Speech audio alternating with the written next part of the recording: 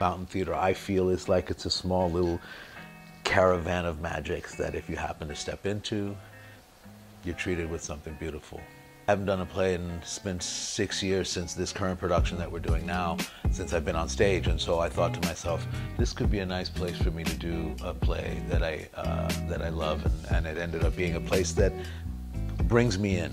So, you know, the fountain felt for me, this space particular, like it's a home, it's quiet, it's intimate, and yet it's uh, a, a broad enough theatrical venue that you can kind of be big and be bold and be different with it. A dear friend of mine who's no longer with us, who was a fantastic actor, Philip Seymour Hoffman, said to me once, the only responsibility an actor has is to the part he is playing, right?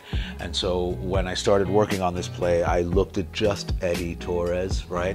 Didn't sort of allow myself to let all the other outside circumstances of the play and the productions and the uh, accolades and the attention sort of affect me in any way. I wanted to just make sure that I got that down right. Once I did that, then then I started to realize why the accolade and why the attention and all of that because you get the sense once you do the performance and you feel the reaction and you have to go out and get in your car and there's people who are going to stop you and they're going to give you your reactions. I haven't had such a a visceral reaction from an audience uh, uh, in a while, actually, in quite a while.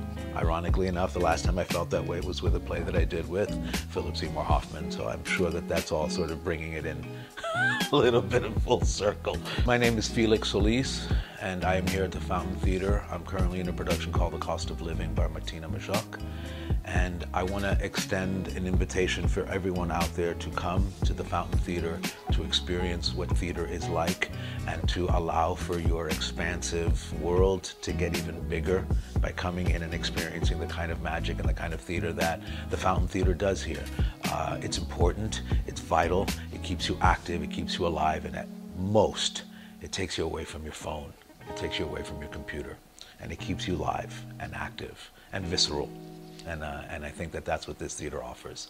And I think you'd be remiss if you didn't join that.